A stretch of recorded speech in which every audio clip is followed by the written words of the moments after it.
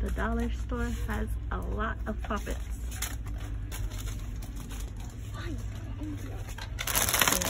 Dinosaur, a unicorn, square, octopus, this unicorn. They have so many. And they also have small pop tubes.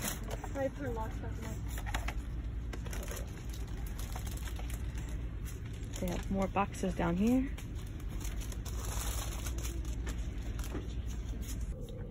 This is everything we got from the Dollar Tree. We got a lot of pop its, and they all were only one dollar, even the pop tubes. We got a lot of pop tubes.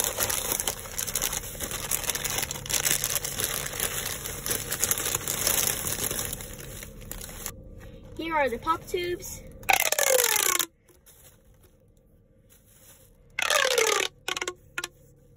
They're really good for just a dollar. And let's check out this unicorn. This is a different type of unicorn. It has like a little horn on the top. So cute. It's kind of nice. It kind of gets like folded on here. You can like kind of see. Let's see how good it pops. It's only bad for now. Oh, it pops good. Pops loud. Octopus. Let's try the octopus. They're kind of like Let's check out how good it pops. It pops really good. Just the other side, it has like a little like dent in it when you pop them. it's kind of like weird. And But it's still good for a dollar.